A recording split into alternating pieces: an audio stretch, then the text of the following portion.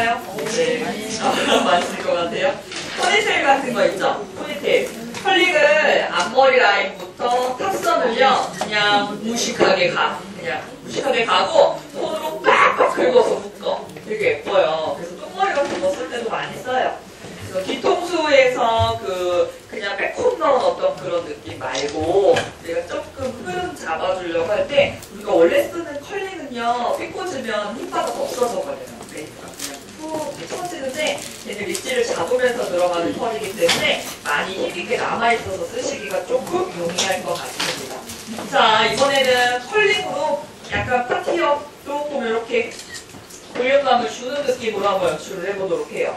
모델이 네, 머리 색깔도 되게 예쁘고 얼굴도 예쁘고 메이크업도 다 잘 어울리고 좋은데 머리가 어떤 머리야? 약간 부담스러운 머리네. 손님으로 안 받은 머리? 이- 이런 머리를 무슨 머리라 그래요? 네, 일명 신생아 머리라 그러죠. 네, 태어날 때부터 이 머리. 왜 애들 태어나면 되게 얇은 머리들 있죠? 자, 앞에요. 한 7cm 정도 parting 잡으셔갖고요. 앞머리 잡아놓으셨을 때는 핀셋으로 이렇게 삐삐 만들지 마시고 앞쪽에 걸리지 않게 ear point랑 살짝만 나눠주세요. 그리고 ear to ear line, ear point, ear point nape line으로 한 포인트를 살짝 얹어줄게요. 세팅 소자 말았어요, 소자. 소자 세팅으로 빡빡하게 말았고 약간 컬링 풀려서 loose한 부분은 아이로 조금 기본 연결만 했어요. 워낙 머리가 얇아가지고 자 모발 컬링 살짝 잡아놓은 상태 뒷머리 nape에서 컬이랑 그 다음에 사이드 오른쪽 왼쪽에서 뿌리에서부터 뒤집어요. 뒤집어지는 curling을 잡으셔야 뭔가 얹어내는 느낌의 styling을 하실 때 nape가 이렇게 눌리지 않겠지. 이렇게 눌려버리면 볼륨이 하나도 없어요. 그래서 nape hairline 선 기준으로 한 2cm 정도 parting 떠주시고 떠주신 모발은 이렇게 잡히죠? 여기 세팅을 살짝 뒤집어 말아놨더니 씹히진 않아 있죠? 이렇게 떠서 여기 세팅 이렇게 만 거거든요. 이렇게 뒤집어. 저희는 항상 nape도 뒤집어서 세팅 맙니다. 그래야지 무슨 styling을 하시든지 간에 그 curling의 이제 세팅 때문에 자국 나서 씹히지 않게끔 정리하실 수가 있으세요. 자, 뿌리 out curl line은요, 항상 curling을 하실 때 각도가 제일 중요해요. 손님이 이렇게 뒤를 돌아보고 있는 상태가 되면 이렇게 그죠? 이 모발이 얼굴 쪽으로 와야 돼요. nape curling 마실 때는요. top은요. top도 마찬가지로 위로 올라가시는데 얼굴 쪽으로 약간 와야 몇 도예요? 120도죠? 얼굴 쪽으로 모든 모발이 다 오는 각도가 120도 각도예요. 그래서 모발의 끝선에서부터 아이롱을 말아주실 건데 컬링을 말았을 때 아이롱이 두피에 붙어있는 상태에서요. 두피에 붙어있는 상태에서 한 바퀴 말아요. 한 바퀴 이렇게. 한 바퀴를 말고 가지고 오시면 모발이 강- 굉장히 꿀렁꿀렁하게 나와요. 우리가 이게 원래 우리가 원하는 기본 컬이죠. 그냥 이쁘게 웨이브 많은 curling이잖아. 뭘 하든지 간에 쓰실 수 있는 컬링. 그래서 nape 쪽에 뭔가가 장식이 들어가려고 하신다면 세팅 잡아 놓으셔서 out으로 뿌리 씹히지 않게끔 연결하고요. 얼굴 모발을 뒤로 당기는 게 아니라 얼굴 쪽으로 당기는 거. 얼굴 쪽으로. 가지고 오셔서 여기 안쪽 뿌리 여기요. 여기다 아이롱 집어 넣으시고 여기서 회전하는 거예요. 그리고 그대로 가지고 내려오실 수 있게끔 컬 잡아주셔요. 꼴롱꼴롱 이렇게 조금. 이게 가장 기본 컬이죠.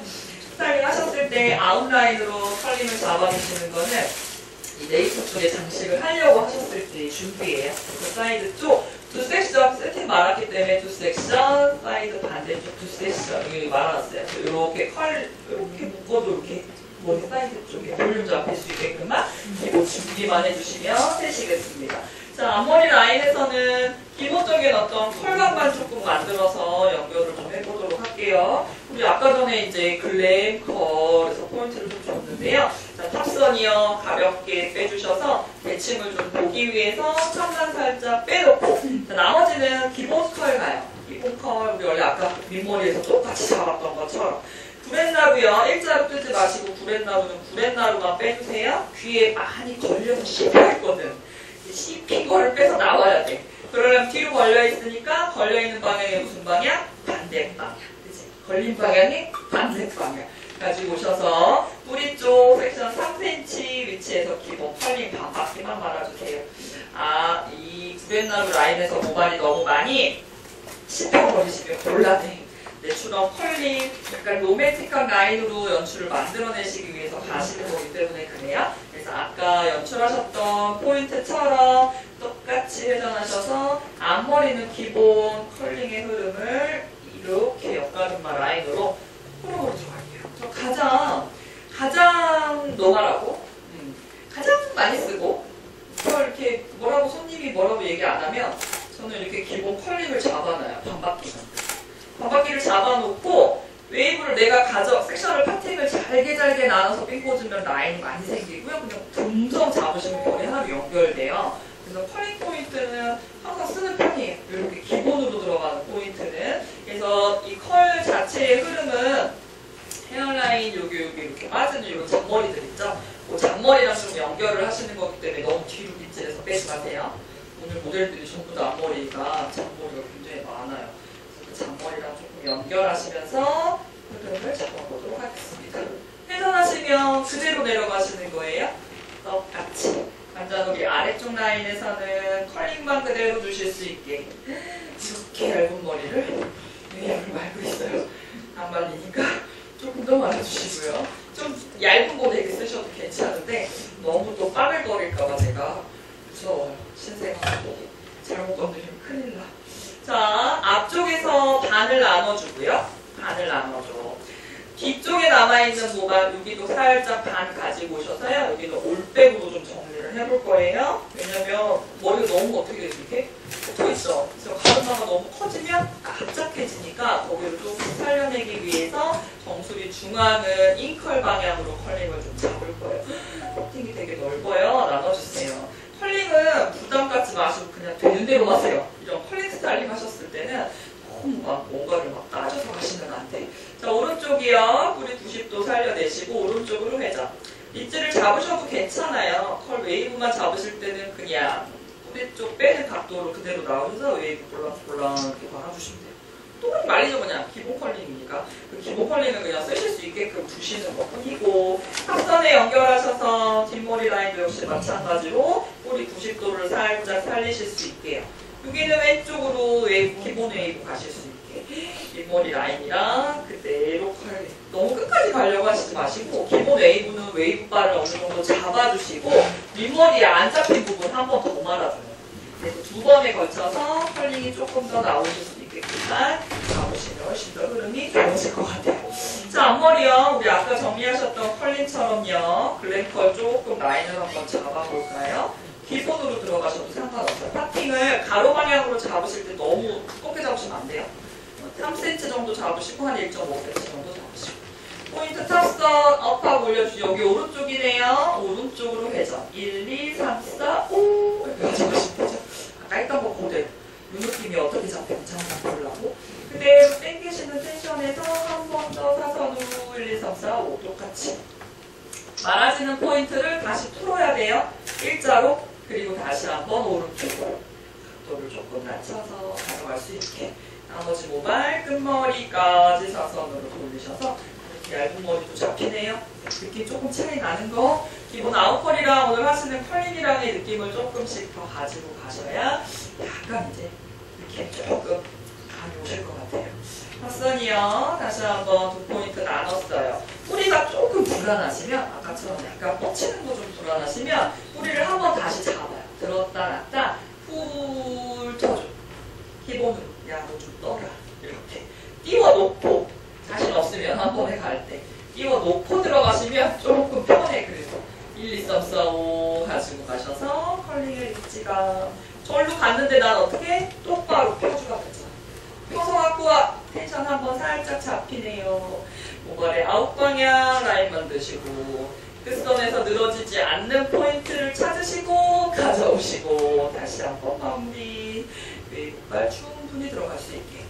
마무리요 옆가르마 라인으로 가지고 오시는 포인트예요. 앞머리 라인 잡으셨을 때는 손님이랑 살짝 마주보고 하시는데요. 마주봐야지 앞쪽에 뿌리가 안 씹히지. 나의 자세가 굉장히 중요해요. 1, 2, 3, 4, 5, 6, 7 턱선은 조금 더 넓게. 옆가르마잖아 너무 또 중앙에서 올라가 버리면 곤란해 곤란해. 그래서 윗머리 라인이랑 살짝 맞출 수 있게끔 사선 다시 한번 펴주고 오른쪽 나머지 모발 끝머리까지 받아내셔 어디 흐름 잡으실 큰 느낌이 좀 달라요. 그죠? 기본으로 우리가 잡으셨던 컬링이랑 컬감이랑 느낌 좀 많이 달라요. 어머, 신생아 머리 뿌리가 안 떠요. 그래서 신생아 머리 타블려 이렇게 옆이 아이롱을 좀 이렇게 세, 이렇게 세로로 납작하게 뿌리를 좀 찝어주는 듯한 느낌으로 살짝 살려주시면 꼭꼭꼭꼭 약간 거칠게 뿌리를 좀 잡으실 수 있어요. 이렇게 가지 말고 이렇게 세워서 좀 얇게 뿌리를 좀 끼워주는 쪽 강하게 엉겨하시면 되실 것 같아요. 자 여기요 탑선의 관자놀이 라인에서 아래쪽 라인 기본 컬링으로 가요. 연출 너무 많이 어렵게 가시지 마세요. 아래쪽 라인에서는 라인에서는 구렛나루만 씹히지 않게.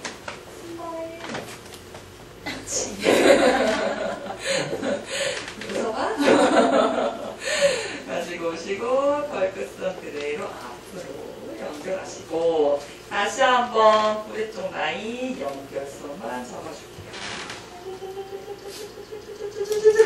어디 가지 마시고 회전하시면 그냥 그대로 스트레이트 하듯이 빼주시라고 했어요.